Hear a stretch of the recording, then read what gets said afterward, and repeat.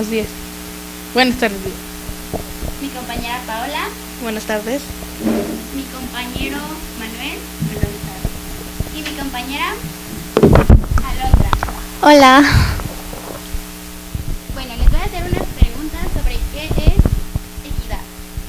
Bueno, la equidad, de la equidad es igualdad. Bueno, la igualdad es como un pastel. Eh, se divide para repartir entre varias personas, entre sí. ¿Qué significa equidad de género? Equidad de género significa la defensa de la igualdad entre hombres y mujeres para el uso de los bienes por igual. No se debe de privilegiar el, al hombre en ningún aspecto. La igualdad de género implica que hombres y mujeres tengan los mismos derechos y las mismas oportunidades. Expresa un claro ejemplo de equidad de género. La equidad de género es cuando a un hombre le dan un trabajo de le pagan mil pesos y a una mujer eh, también eh, tiene el mismo trabajo y le pagan igual. Otro ejemplo de equidad de género, este, las mujeres son igual de fuertes que un hombre, como se puede ver en ese cómic, que dice que el hombre según es más fuerte que la mujer, pero la mujer derrota al hombre.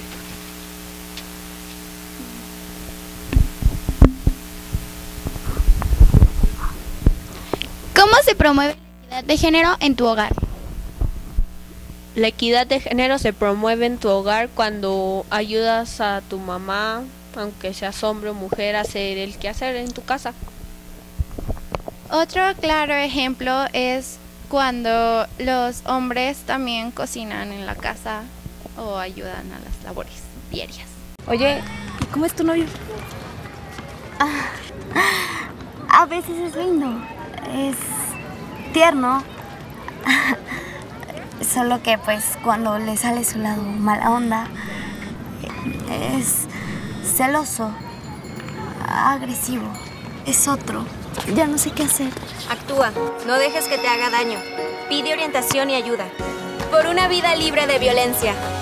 Gobierno de la República.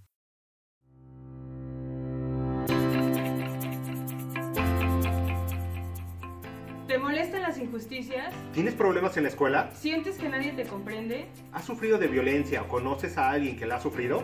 Conoce, Conoce tus derechos. Es un programa de la Comisión Mexicana de Derechos Humanos donde podrás ver tips, cápsulas y entrevistas para que defiendas y conozcas tus derechos. Síguenos todos los lunes a las 11.30 por la transmisión de Dejes, porque recuerda que Dejes TV te ve aprendiendo.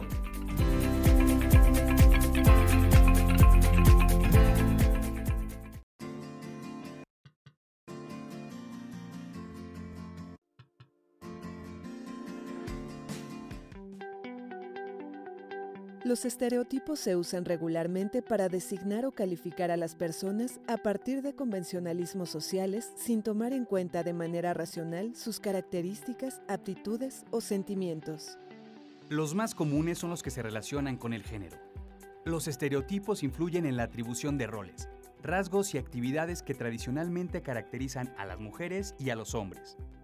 Algunos patrones establecen que los niños se visten de azul y las niñas de rosa, las mujeres son sentimentales y emocionales mientras que los hombres son racionales y no tienen derecho a llorar. Pero, ¿una mujer o un hombre deben ser forzosamente de cierta manera? Desde este punto de vista, ¿los estereotipos son obstáculos para el crecimiento, el desarrollo y el logro de proyectos de vida? Recuerde que no existen límites para que las niñas expresen y vivan su derecho a elegir con libertad. Una niña arriba de un árbol es solo eso, una niña que juega a subirse a los árboles, que se divierte y disfruta de la naturaleza. Subirse a un tronco y agarrarse de las ramas no define su género.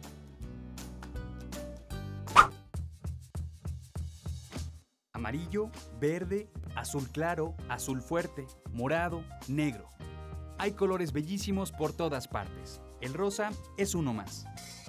Fomente que las niñas tengan la opción de hacer de su vida un arco iris. Leer estimula la imaginación, abre horizontes, derriba falsas creencias. Comparta con sus alumnas el goce por la lectura. Motívelas para que conozcan aventuras de piratas, de cavernícolas, de amor, de suspenso, de pueblos mexicanos donde la gente camina muerta, de tierras donde hay lagos de profunda tristeza o de mujeres bellísimas que se elevan en una plaza pública. Abra horizontes a sus alumnas con opciones e historias maravillosas. Sin duda lo apreciarán. Recuerde, casarse y ser mamá es solo una de las posibles opciones para una niña. No es la única y tampoco es una obligación. El futuro de las niñas no está predeterminado. Tiene el derecho de elegir la vida que ellas deseen vivir. Que existan maestras, directoras, abogadas, mecánicas, científicas, atletas, gobernadoras o presidentas es el resultado de muchos años de esfuerzo que es necesario enaltecer y continuar. Recuerde a sus alumnas que como mujeres pueden hacer valer sus derechos y decisiones. Nada ni nadie se los puede impedir. Motívelas para que hagan valer sus derechos y sus decisiones.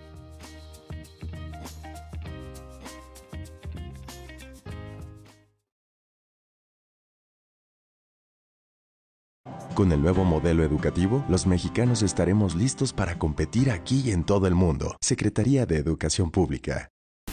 Bienvenidos, bueno, ahora estamos aquí con mi compañera Sherlyn, que está en sustitución de mi compañera Alondra, y mi compañero Rogelio, que está sustituyendo a mi compañero Manuel. Continuamos. Para ustedes, ¿qué es la equidad en la escuela? Bueno, no es que en nuestra escuela tenemos el mismo uniforme, ya sea mujer o hombre tenemos el mismo uniforme. Bueno, en nuestra feria de ciencias, bueno, que están cordialmente invitados, eh, en Feria de Ciencias cada alumno se puede meter en cualquier taller que desee, o sea, matemáticas, español, ciencias. Y ahí no, está, no se discrimina por ser mujer ni ser hombre.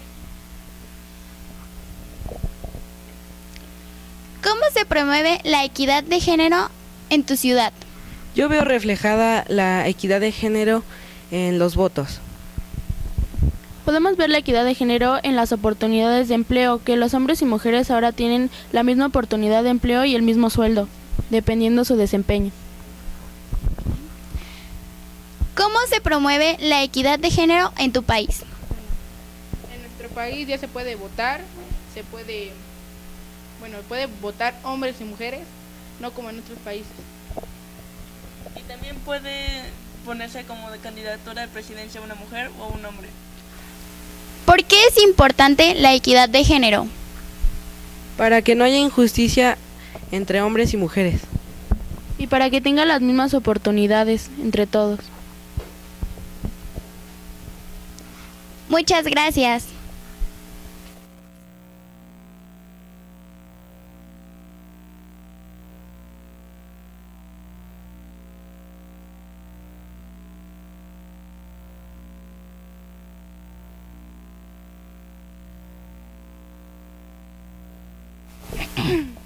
Bueno, ya estamos de regreso aquí con los chicos de la escuela. Vasconcelos. Con ganas, chicos, los chicos de la escuela secundaria. Vasconcelos. Escucharon la particular Vasconcelos nos acompaña el día de hoy aquí en Es Particular. Y bueno, ellos nos presentaron el tema de equidad de género, así es, ¿verdad, chicos? Sí. Y bueno, respecto a todos estos tip- tipos y puntos de vista que cada uno de ustedes nos brindaron, ¿nos pueden platicar eh, algún ejemplo de equidad que han visto o han pasado en algún momento de sus vidas, por favor? Ah, bueno, eh, puede ser como en la tele, ve- verlas en la tele. Sí. Ah, bueno. En la tele eh, ha- hay algunos programas machistas donde aparecen más mujeres que hombres.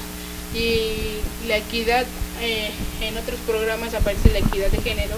Es cuando aparece un personaje principal que es mujer y un, Acércate tu eh, y un personaje principal que es hombre. Muy bien, ¿alguien más, chicos, nos quiere comentar un ejemplo? También Adelante. puede ser en el hogar, cuando nosotros ayudamos en las tareas del hogar. Así es, ¿alguien más? A ver, compañera, te doy el micrófono. Cuando por ejemplo en la escuela, ahora que vamos a pasar a la preparatoria, podemos observar que ya hay carreras para hombres y mujeres, como por ejemplo lo es la ingeniería, que antes era solo para hombres y ahorita ya pueden estar mujeres estudiando esa carrera. ¿Alguien más nos quiere compartir su punto de vista, chicos? También en la escuela cuando uno cuando están jugando fútbol también ya las mujeres juegan.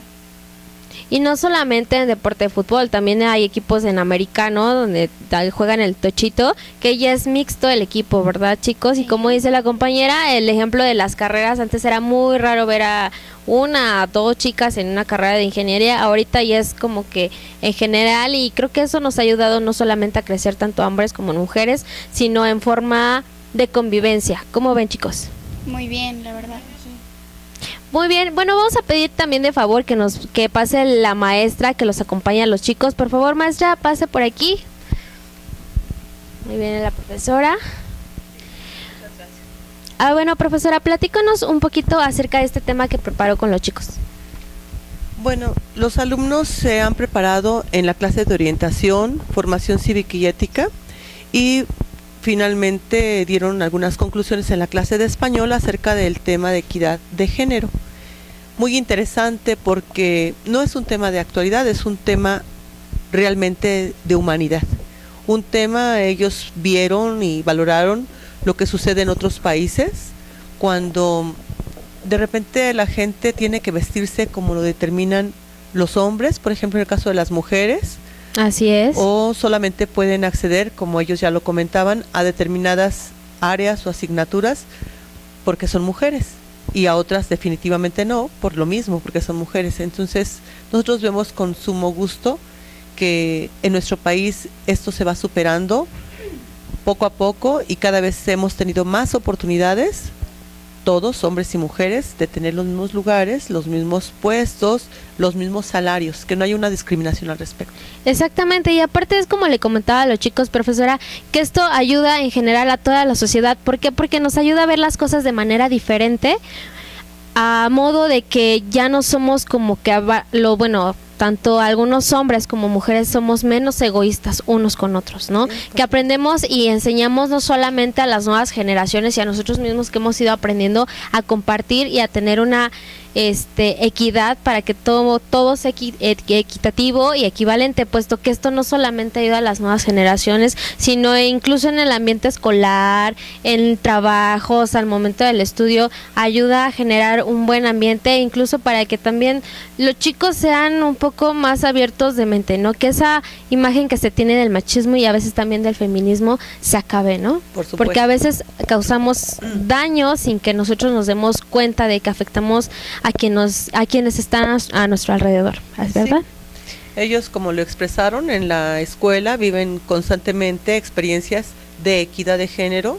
Ahí por igual hombres y mujeres participan en todas las actividades que se realizan en todas las asignaturas y sean ferias, sean algún equipo deportivo, eh, alguna actividad de los talleres que tienen, por igual participan hombres y mujeres. Así es. Bueno, también vamos a dar eh, invitación a que pasen los otros chicos que estuvieron con nosotros. Adelante, chicos, pasen de este lado, por favor. Aquí nos saquemos, hacemos caber. Júntense, júntense.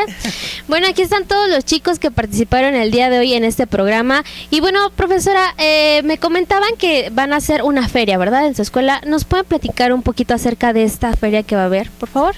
Muy interesante porque los muchachos junto con la coordinadora es la maestra de ciencias, la maestra Andrea, y ella nos hace favor de organizar en el plantel por indicaciones de nuestro director, el profesor Rolando Lozada Roldán, quien está muy interesado en que todos ocuparemos el mismo término en equidad de género, participen, sobre todo que las mujeres más accedan a la ciencia y realizan su actividad de feria de ciencias por equipos, tienen proyectos, los proyectos se realizan en lo que desde que inicia el ciclo escolar y el término, que en este caso es la invitación abierta para que nos hagan favor de visitarnos, será en el Faro del Saber de Constituyentes los días 31 de enero y 1 de febrero y cada uno de ellos tiene diferentes proyectos. Muy importante porque ellos organizan toda la actividad, saben, conocen de qué van a hablar y sobre todo experimentan y además dan a conocer a la comunidad sus avances. Muy bien, maestra, muchas gracias. Y bueno, estos proyectos que presentan los chicos eh, dentro de, de, su escuela, en esta feria que va a haber, ¿son de todos los grados? De primero a tercero y son muchos y diversos proyectos. Es decir, todo lo que tenga que ver con ciencia, matemáticas, biología, física, química, es lo que se presenta para deleite de la comunidad escolar y de la comunidad en la que nosotros estamos insertados en la colonia Daniel Garza. Ok, bueno, ya escuchamos a la profesora, la invitación es completamente abierta y en general para todos ustedes que quieran ir a esta feria en la Escuela Vasconcelos. ¿Nos puede repetir la dirección, maestra, de dónde va a ser, por favor, para que todo el mundo sepa y esté enterado para poder llegar a la feria? Sí, cómo no. El día 31 de enero y el primero de febrero en el Faro de Constituyentes, que se encuentra sobre la Avenida Constituyentes, y para llegar, pues muy fácil, tenemos que llegar al Metro Chapultepec, de ahí hay un transporte colectivo que nos deja exactamente en la esquina, ahí donde está el faro del saber de Constituyentes. En, la, en el Deportivo Constituyentes se instalan los eh, lugares, los espacios donde los alumnos, de acuerdo con su coordinador, que es un profesor de diferentes asignaturas, realiza la misma feria. 31 de enero, primero de febrero, los esperamos gustosos, queremos que nos acompañen para que vean de qué se trata todo ese trabajo que los alumnos hacen. Es muy interesante porque es la actividad de los alumnos orientados por los profesores, pero básicamente es la que ellos realizan. Bueno, ya escuchamos a la profesora y bueno, no se pierdan esta feria donde los chicos hacen la aportación de ideas, este, innovaciones y varias cosas para que ustedes las puedan ver junto, como ya lo comenta la profesora, con el apoyo de profesores, pero más que nada es la idea, el apoyo y el desempeño que hay entre ellos, los alumnos, y lo que ellos desean mostrarles a todos y a todos nosotros, ¿verdad? En la comunidad. Sí, por supuesto. Bueno, ya escuchamos y la invitación está hecha para todos ustedes que nos ven aquí a la feria de estos chicos de la Escuela Vasconcelos. Gracias maestra, gracias, chicos, espero que lo hayan pasado bien este ratito aquí en Dejes TV. Recuerda que Dejes TV te, ve aprendiendo, pero claro, como ustedes lo saben, no nos podemos ir sin mandar nuestros saludos. Así que empezamos de ese lado, compañero, por favor, que tienes el micrófono. Saludo a, a mi mamá Gabriela, a mi papá Jesús y a mis hermanos eh, Mauricio y Ángel y también a mis amigos Ayrton, Pedro y Mario. Yo le mando un saludo a mi querida Tamara y también a mi amiga Ariadna y René. Yo un saludo a mis compañeros del Colegio Vasconcelos y a mi familia. Yo le mando saludos a mis compañeros de mi salón y a mi familia. Yo le mando un saludo a mi familia y a todos los chicos del Colegio Vasconcelos. También al director Rolando Yo le mando saludos a todos mis compañeros de primero B, al Colegio Vasconcelos y a todos los profesores. Yo le mando un saludo a mis profesores y a mis compañeros del Colegio Vasconcelos. Yo le mando un saludo a toda mi familia y a eh, mi grupo segundo B, en especial a Romina, Antoine y Valeria. Aprovecho para mandarle un saludo afectuoso a todos nuestros compañeros que ellos no pueden estar aquí, pero nosotros los estamos representando, es decir, a los demás alumnos, a mis compañeros maestros. Muchas gracias, maestro subdirector, que nos acompaña y nos trae hasta acá, el maestro Fernando Pastrana, por supuesto, a nuestro director general, el profesor Rolando Lozada Roldán. Muchas gracias a todos y pues gracias a la dirección de secundarias técnicas que nos hacen favor de invitarnos y les dan la oportunidad a los muchachos que pasen esta experiencia tan hermosa. No, profesora, al contrario, gracias a ustedes, gracias a ustedes chicos por aceptar esta invitación y a participar con nosotros. Y de verdad esperamos que no sean la última vez que participan aquí en DGSTV, sino que vengan y ocupen este espacio para lo que ustedes realmente quieran y desean presentarnos, profesora. Cuando gusten, aquí está el espacio en DGSTV. Bueno, yo me despido, yo soy Leslie Flores, gracias por acompañarnos en esto de Es Particular y bueno, seguimos con más programación y no me puedo despedir sin dar un agradecimiento al licenciado Manuel Salgado Cuevas, director general de Educación Secundaria Técnica aquí en la Ciudad de México. No me despido y nos vemos en un rato. Adiós chicos. Hasta luego. Adiós.